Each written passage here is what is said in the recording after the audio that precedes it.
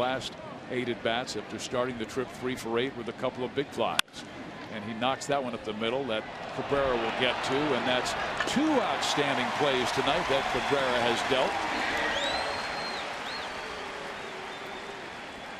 Now keep in mind, you know, he makes those plays look easy, but Escobar, he don't have to go to his knee.